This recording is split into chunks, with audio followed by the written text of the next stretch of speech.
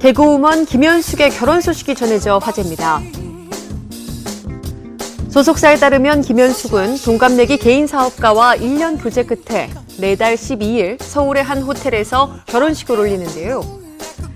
지인의 소개로 만난 김현숙의 예비 신랑은 준수한 외모와 자상한 성격의 소유자로 알려졌습니다.